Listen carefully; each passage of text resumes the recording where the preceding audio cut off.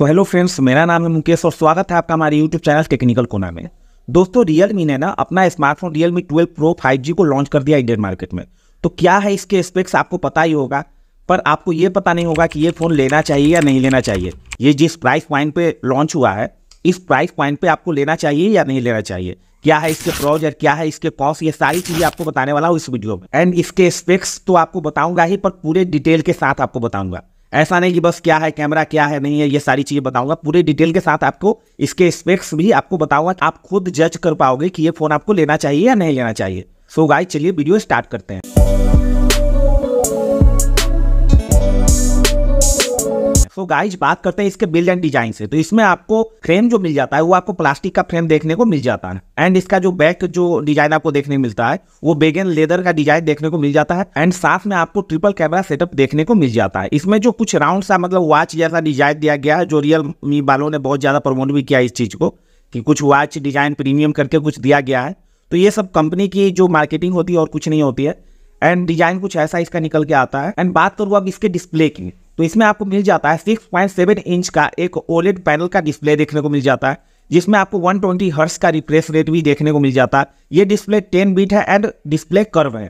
थोड़ा सा प्रीमियम देखने में ये डिस्प्ले लगता है और साथ में ये पंच होल डिस्प्ले भी है, जो हर फ़ोन में आपको देखने को मिल ही जाता है punch hole display and guys इसकी जो पीक ब्राइटनेस है, वो 500 हंड्रेड निट्स की है, यानी कि आप धूप में भी इस फ़ोन को यूज़ करोगे तो इनफ ब्राइटनेस आपको देखने को मिल जाएगी। सो so गाइज़ जब बात करते हैं इसके कैमरे की तो इसमें आपको 50 मेगापिक्सल का सोनी आई एम एक्स का सेंसर देखने को मिल जाता है। एंड साथ में आपको 32 मेगापिक्सल का टेली फ़ोटो लेंस भी देखने को मिल जाता है। एंड एट मेगापिक्सल का अल्ट्रा वाइड कैमरा देखने को मिल जाता है। एंड सेकेंडरी कैमरा की बात करें, यानी फ्रंट कैमरा की बात करें तो इसमें आपको 16 मेगापिक्सल का कैमरा देखने को मिल जाता है फ्रंट सो गाय जब बात करते हैं इसके प्रोसेसर की तो इसमें आपको मिल जाता है स्नैपड्रैगन का सिक्स जनरेशन वन का प्रोसेसर जो एक नया प्रोसेसर है। इस फ़ोन के साथ पहली बार इंडिया में लॉन्च हुआ है। स्नैपड्रैगन सिक्स जेन वन जो प्रोसेसर है, वो आपको फोर्थ नैनोमीटर आर्किटेक्चर पे बेस्ड है। एंड इसके अनटूटू स्कोर के बारे में बात करें तो पाँच से छह लाख का अंटूटू स्कोर इसका निकल के सामने आता है। अब गाइज़ बात करें इसके रैम एंड रोम टाइप की तो इसमें आपको LP D D R four X RAM देखने को मिलता है। एंड स्टोरेज की बात करें तो इसमें आपको U F S three point one storage देखने को मिलता है। तो गाइज़ अगर आप बात करें इसके कनेक्टिविटी की तो इसमें आपको ड्यूट फाइव जी सिम का सपोर्ट देखने को मिलता है। एंड गाइज़ इसमें एस डी कार्ड का सपोर्ट नहीं दिया गया है। यानी कि आप इसमें मेमोरी कार्ड अलग से नहीं लगा सकते हो। एंड हाई की बात करूँ तो इसमें आपको हाई सिक्स दिया गया है। ब्लूटूथ की बात करूँ तो इसमें आपको ब्लूटूथ का वर्जन फाइव दिया गया है। एंड गाइज़ सेंसर की बात करूँ तो इसमें आपको सारे सेंसर्स देखने को मिल जाता है इंक्लूडिंग आपको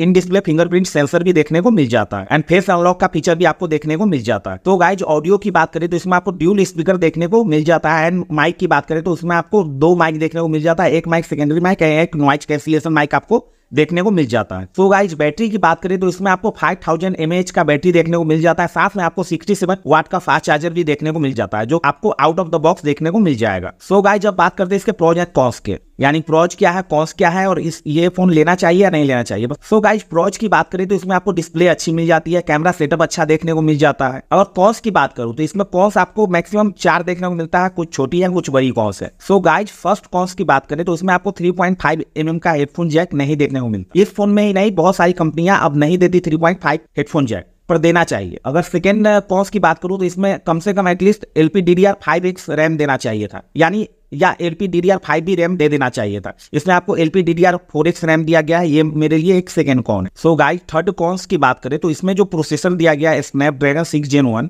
ये अपने प्राइस के हिसाब से जस्टिफाई नहीं करता।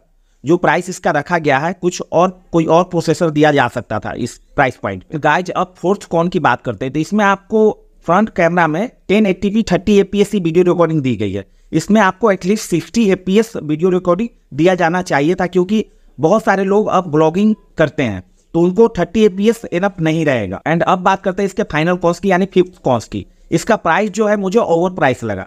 कम से कम इसका प्राइस बाईस से तेईस हज़ार रुपए के बीच में रहना चाहिए था, इसके बेस वेरियंट तो ये अभी जो इसका प्राइस रखा गया है बेस वेरियंट का, छब्बीस हज़ार रुपया, ये मेरे हिसाब से थोड़ा ओवर प्राइस है।